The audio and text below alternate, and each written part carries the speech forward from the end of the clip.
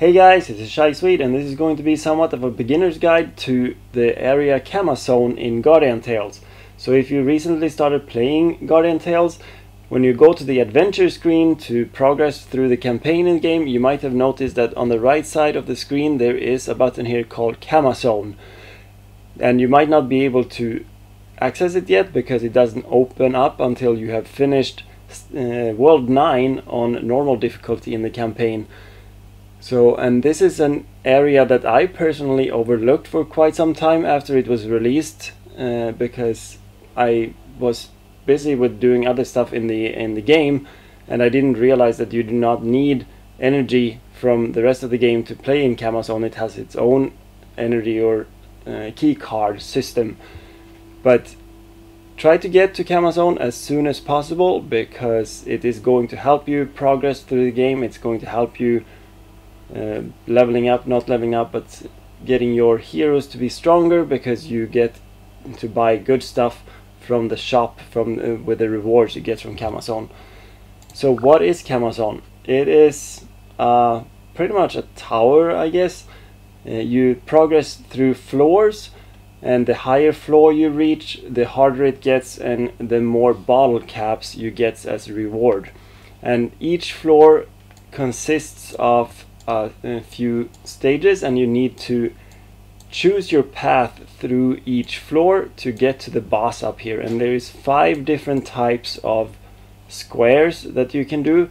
These hearts will heal all your wounded characters. These question marks are I don't know how to explain it. It's kind of like a, a little story that is being told in there and you get options to choose and uh, depending on what options you choose different things will happen. You can get in a battle, you can get an artifact, you can lose artifacts, you can get cursed art artifacts, and, and so on. There's lots of things that can happen depending what, on what you choose. These ones with one sword is a normal battle. These ones with two swords is a harder battle that will reward you with an artifact after you finish it. And this shopping cart is where you can spend silver. You get silver for each battle you do and you can use them in the shop to buy better artifacts. And talking about artifacts, during when you when you climb through the tower, you will receive good artifacts or less good artifacts. And what you need to do is that every every artifact has certain skills and they will make you stronger in certain ways. So what you need to do is to try to get the best artifacts that fits your team because the artifacts is having a really big impact in how strong you will be in the battles. For example, this artifacts give my melee attack 100% extra attack. So I make 100% extra damage when I have this artifact and I have two of them. So I pretty much do 200 more 200% more damage with my melee attackers, which is pretty significant in this game and it will help me progress through the stages a lot faster and a lot easier. And you have your team of four people and let's go through here and check what this is. Uh, let's take that box. And now I got a cursed artifact so I need to discard one of my other ones. Let's do that. And here if I have wounded heroes they will heal. I didn't have any and let's do a battle as well. And we have my team of four heroes and if one of them dies you will not be able to use that hero un unless you will find a question mark that actually re revives a hero. But then you need to switch them out and you can if you have all of your heroes up to level 69 or over then you can use them to do progress faster and even more progress longer into the game And as you can see, the battle is pretty much like a Colosseum battle.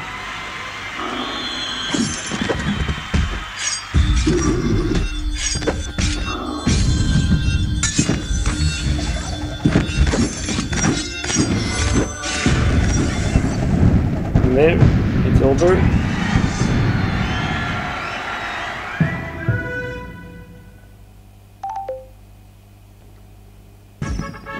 And my rewards for this was 10 silver coins and 83 bottle caps so the important thing with Kamazone is the bottle caps.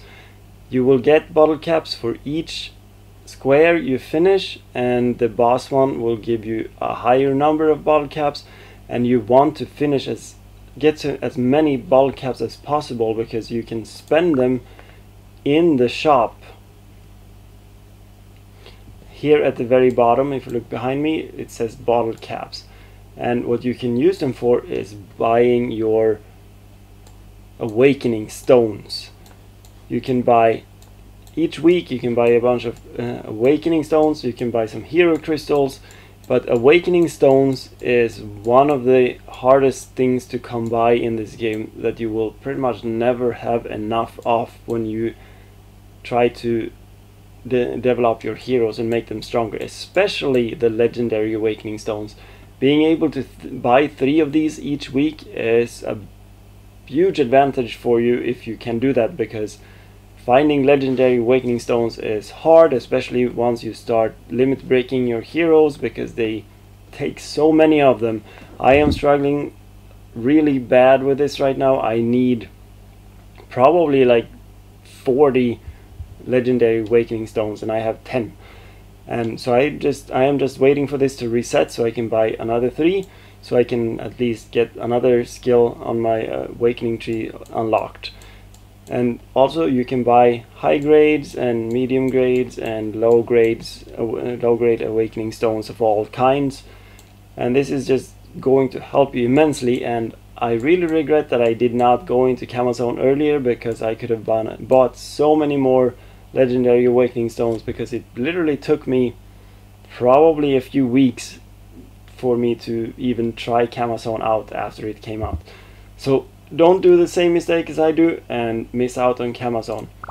And lastly, once you are not able to progress anymore, once your hero is dead and you just can't finish a stage, you can click finish challenge and you will restart from the beginning if you're if you don't reach higher than stage 3 if you reach higher than stage 3 you can uh, you can get to start at a higher stage if you want and you will always get to choose some artifacts from the beginning. We can we can try that out actually. So if I click finish challenge this is how many bottle caps I collected in my run now. I am on floor 9 I think. And we click this and yes I was on nine, floor 9 and now I can start from floor 6 so if we start this I can choose to start from first floor or from sixth floor. And since you get more reward from starting at a higher floor then I will always choose this. And right away here I get to choose a few artifacts. And I'm always looking for the high grade artifacts because they will be giving you the most benefits and here for example I do not have a high grade I just have low grade and now it's good to know that there is a high grade that pairs with lonely left ear it's called lonely right ear and they will have uh, an effect together if you have both of them. So this one is kind of good even if it doesn't help much on its own. So th these are things you need to to learn through the th through the game as well which artifacts you need to to focus on so that was pretty much it about Kamazone. As I said, don't miss out on Kamazone because the ability to collect bottle caps and use them to buy awakening stones is really important in this game considering you will never have enough awakening stones unless you are a whale and spending lots of money on the game then uh, I'm guessing awakening stones won't be a problem but for us that do not spend any real money on the game, this is one of the opportunity, op opportunities you have to actually collect more awakening stones that you need in the game to make your heroes as strong as they need to be to be able to progress through some of the harder contents. So that was it for this video guys, I hope you enjoyed it and I hope it was helpful. And if it was, please give me a like and give me a comment below what you think about Kamazone and don't forget to subscribe. I've been ShighSwede and see you at the next video.